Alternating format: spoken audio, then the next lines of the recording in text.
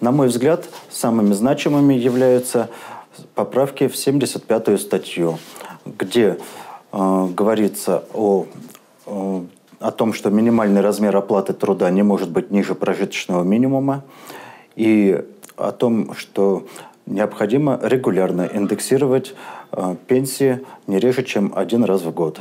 Э, в нашей стране не, не раз принимались законы, э, которые противоречили предлагаемым нововведениям.